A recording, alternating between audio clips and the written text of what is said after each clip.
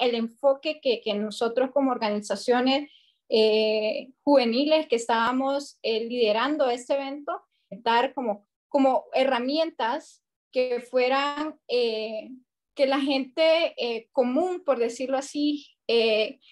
líderes de las comunidades, líderes juveniles, que no tienen conocimientos amplios o que no son profesionales del sector energía,